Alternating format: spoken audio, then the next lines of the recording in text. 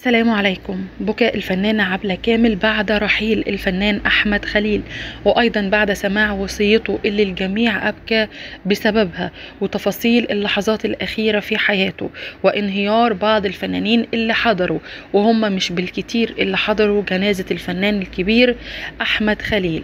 كل ما حدث في الجنازة ومن الفنانين اللي راحوا ولحظة مبكية جدا جدا من الفنانة عبلة كامل والفنان رشوان توفيق. تفاصيل كتير من فضلكم. يا ريت نوحد الله ونصلي على رسولنا عليه الصلاة والسلام.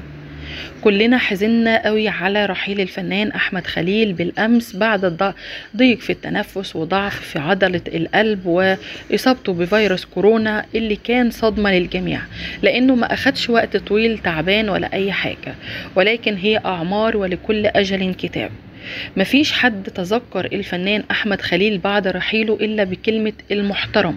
وحتى من البعض الفنانين اللي كتبوا عزاءات واللي راحوا الجنازة كلهم أجمعوا إنه بجد كان فنان راقي ومحترم في تعامله. ابن محافظة الدقهلية توفى عن عمر يناهز 80 عام.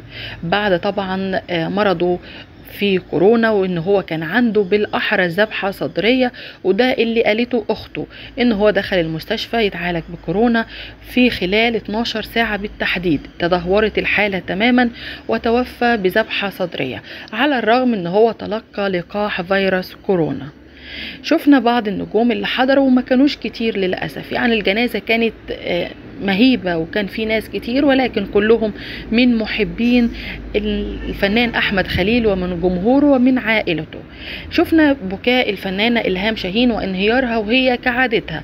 في أي جنازة وأي عزا بنشوفها منهارة وزعلانة. وأيضا الفنانة ليلى علوي قالت أحسن دور في حياتي وأحلى لحظات في عمري عشتها في حديث الصباح والمساء مع الفنان أحمد خليل. شفنا كمان الفنان رشوان توفيق اللي بجد هو صاحب واجب. ما بيسيبش جنازة أو عزا إلا ما بيحضر فيه بالرغم إن عمره 86 عام وبعاني من بعض الأمراض الصحية. شفنا كمان الفنان أحمد عبد العزيز وذهابه لحضور الجنازة ولكن هو ما قعدش وقت طويل في الجنازة. بعض الفنانين اللي كتبوا على صفحاتهم آه كلام عن الفنان الكبير أحمد خليل ومهما يتكلموا مش هيوفوا حقه لأنه بجد فنان محترم. تخرج من المعهد العالي للفنون المسرحية بعد رفض والده إنه يكمل أو إنه يح... يشتغل في الفن. والده كان طبيب ولكن هو أصر بعد تخرجه من تخرجه من الثانوية العامة إنه يلتحق بالمعهد العالي للفنون المسرحية. لحظاته الأخيرة قال في تفاصيل عن وصيته إنه حابب دايما دايما ياخدوا بالهم من الفنانين الكومبارس اللي بتسموا كومبارس اللي ممكن يشتغل عمل كامل وما ياخدش أجر غير 300 أو 400 جنيه.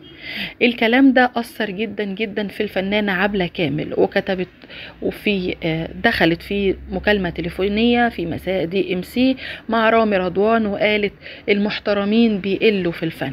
النهاردة فقدنا راجل محترم جدا جدا.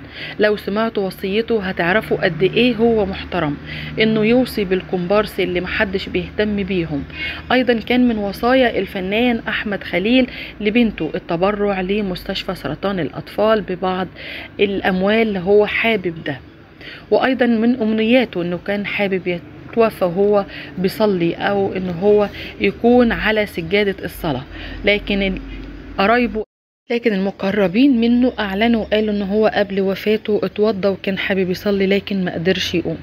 في النهاية ربنا يرحمه ادعوا له كتير لو سمحتم. السلام عليكم.